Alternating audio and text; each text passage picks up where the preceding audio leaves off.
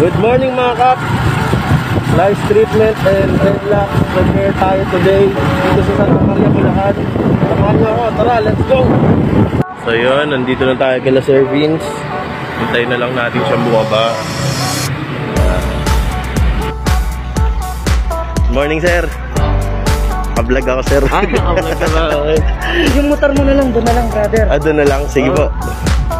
So, yun. Nandito na tayo kila Sir Vince. Sir oh. Whoop!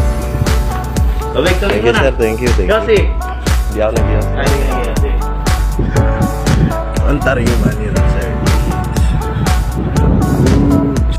Ito yung dreads ni Sir. So, positive nga si Sir sa kuto. so, yan. Gagamutin natin to si Sir.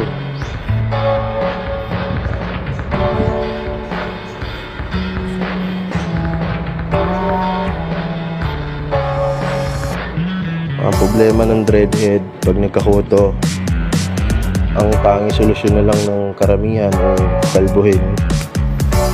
So, hindi po doon nagtatapos ang journey natin. Kaya pa po natin gamatin itong mga ganitong klaseng kondisyon. So, yan. Huwag po tayong mawawala ng pag-asa. Pag nagkakauto tayo mga sir, huwag tayong mahihiya. Pwede natin kontakin yung mga personal local lactician natin at tutulungan naman nila tayo kung paano ma-resolve itong mga ganitong klaseng problema. So, yan. Huwag kang matakot sa kuto.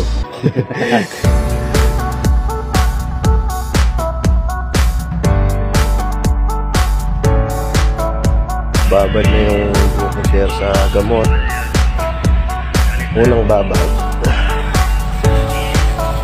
So medyo hindi naman ganun kasibir yung ah, problema ni Sir. Nakukuha na natin siya sa unang babad. Then, prepare. Yun, natapos na natin yung unang babad ng lice treatment kay Sir. So, ito lang naman ang nakuha natin. Yan. Siguro mga nasa ano lang to. Hindi lalagpas ng 20 pieces.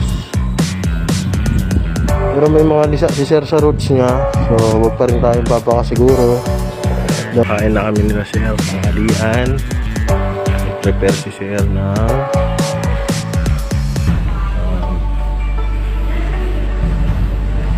nilagang baboy. Yan. Ayun. Yan, katatapos lang natin ni sectioning ang threads ni Sir. Umpisa na natin siyang i-repair. So,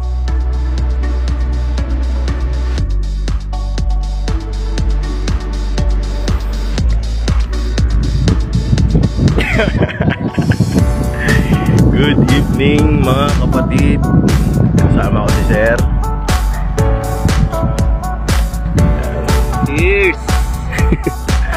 Pagkatapos ng matinding bakbakan. Dito tayo sa bubong. Para tayo mga puso naglalandi dito.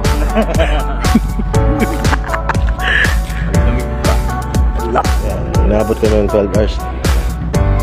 So malinis na siya. Wala nang kuto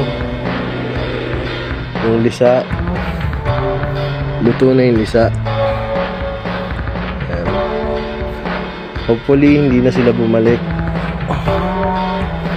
So yun Takits tayo sa susunod nating biktima Tapos na kami dito sa Santa Maria Bulacan with Cap Vince Ano masabi mo sir sa experience mo? Ayos. Presko na yung ulo ko. Wala nang kape. Ah, ayos. Sulit na sulit. Salamat Cap Vince sa tiwala Thank you, thank you Solid, solid Ayos na ako. Pero wala nang kuto. Ah, Sa bubong na tayo magsisession susunod Thank you, thank you Thank you rin, thank you, thank you. Thank you.